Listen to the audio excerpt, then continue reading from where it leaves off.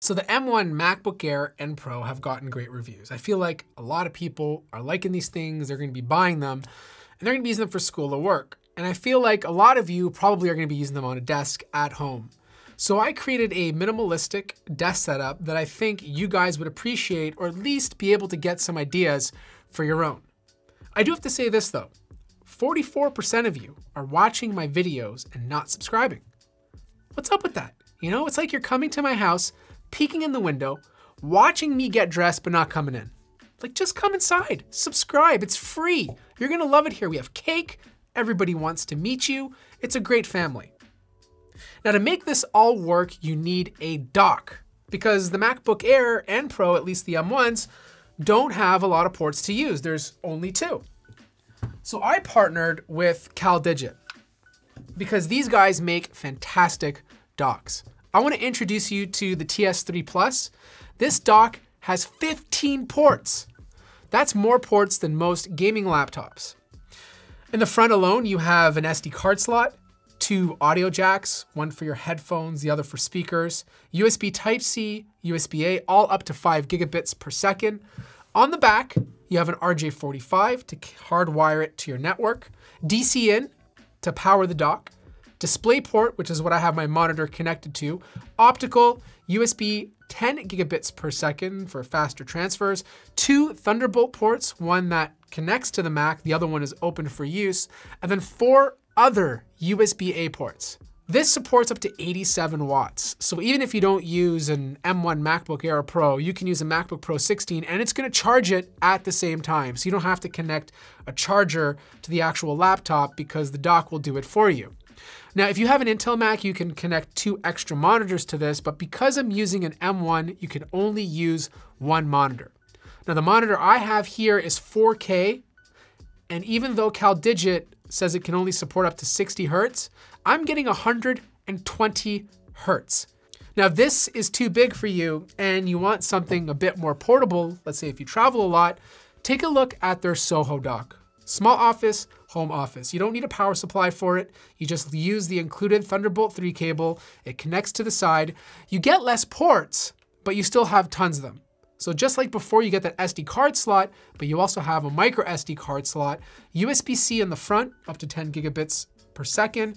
And then on the back, you have HDMI, DisplayPort, and then another USB Type-C port that can charge another device. Because this desk is kind of small, I wanted to use a small keyboard to go with it, and I opted for the Keychron K2. You've seen this in a ton of tech YouTuber videos, and for a very good reason. It's a solid keyboard. These mechanical switches feel nice to type on. I love the, the dark gray and light gray theming. There's RGB if you wanna add a little flavor to your minimalistic setup. And you can hook up to three different devices using Bluetooth. Now, if you don't want to use Bluetooth, you can also use the wired cable that comes included. The best part is they send you the keycaps in case you want to use it with a Windows device instead. It's just a solid device, and I've been using this for over eight months, and I have zero complaints about it. Now to hold the MacBook, I'm using the 12 South Book Arc. This is just a simple piece of metal that's in the shape of an arc that keeps your MacBook upright. It just makes the desk setup look nicer. Now you can get different pieces of rubber depending on the MacBook you're using, but they've included a few nice features like being able to slide the cables underneath the hole on the bottom, and it just adds a little bit of cleanliness to your desk instead of leaving the laptop open or flat on the surface. Now I don't use productivity mice because most of them are for right-handed people only. So I use gaming mice. I find them to be the best option for a left-handed person. Plus I also like to game. This is the Logitech G305. I've shown this before. I use products for a long time if they are great. And this is great. It's light, it's easy to carry. There's a space on top to, to carry your dongle. There's a couple of programmable buttons on the left side, sensitivity button if you want to change the DPI, and of course a very solid scroll wheel. The only down part to this mouse is that it uses a double A battery, but here's the thing. I've had this for what, eight, nine months, I think, and I haven't had to change the battery once. Now the way I use this with the MacBook is very simple. I don't connect the wireless dongle to the back of the docking station. I actually use a adapter and connect it to the second Thunderbolt port. The reason I do this is when I disconnect the cable from the dock, I won't forget the dongle. If I leave the dongle on the back of the dock, I'll most likely forget it. If it's connected to the laptop already, it's already with me when I leave. Also, a quick shout out to this mouse pad, the SteelSeries QcK Gaming Mouse Pad. It's very cheap. It's a nice cloth material, which makes a great surface for your mouse. And I wanted it to be small because again, to make the desk look cleaner, but also small enough that I can just grab it off the desk and throw it in a bag if I'm leaving the studio. To charge my phone, I'm using the MagSafe charger. I don't really know what to say about this, but it's a charger. It sits on the desk, it magnetically attaches to the back of my phone and wirelessly charges it.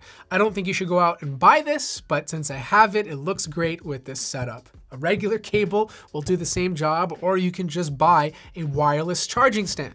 Finally, the speakers. And I was gonna put speakers on this desk, or like computer speakers, but I was like, you know what? Let's try the HomePod minis. Let's see how this turns out. And it actually ended up sounding really good. The problem with the MacBook Pro 13, even though it has great speakers, is when it's closed, the sound is muted.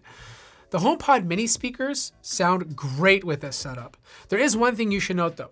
There's two of them on the desk, but only one works when you have it being used as a regular speaker connected to the computer. Only time you can get both speakers to work in a stereo pair is if you start to AirPlay it from a specific app. So if I'm using Apple Podcasts, for example, I can just AirPlay it to both speakers. But if I'm watching a movie in a browser, it only uses one HomePod mini depending on which one I choose. So that pretty much wraps up my M1 MacBook Air or Pro desk setup. I hope I gave you guys some ideas to help create your own. If you're interested in any of these products, there'll be links in the description down below. Like the video if you liked it, subscribe if you haven't already, and I'll see you guys in the next video.